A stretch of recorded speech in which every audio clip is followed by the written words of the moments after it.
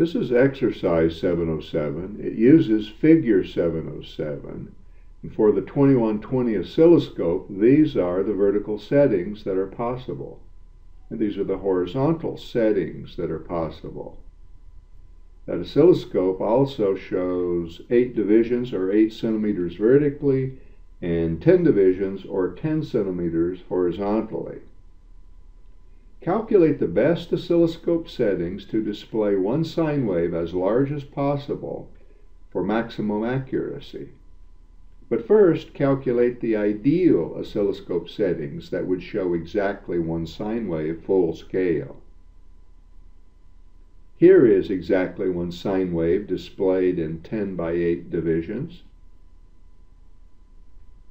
Given 131 cycles per second, given 6.04 volts amplitude, make 6.04 volts fit exactly into 4 centimeters.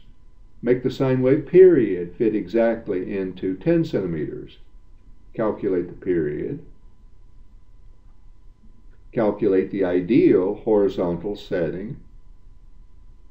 Calculate the ideal vertical setting. Select the best horizontal setting which is the one larger than the ideal.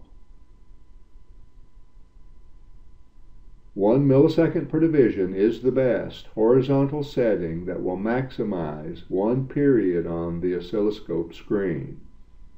Select the best vertical setting, which is the one larger than the ideal. 2 volts per division is the best vertical setting that will maximize the amplitude on the oscilloscope screen. For the given sine wave, calculate the number of divisions expected when the best oscilloscope settings are selected. Calculate the horizontal number of divisions expected for one cycle. Calculate the vertical number of divisions expected for the amplitude.